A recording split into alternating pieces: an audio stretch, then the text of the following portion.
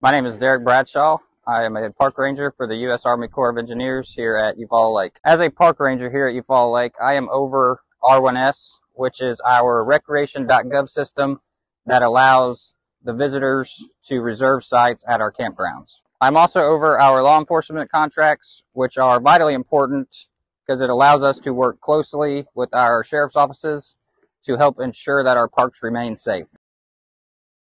As a park ranger, my favorite memory is working with our local youth to teach them the importance of our natural resources and water safety.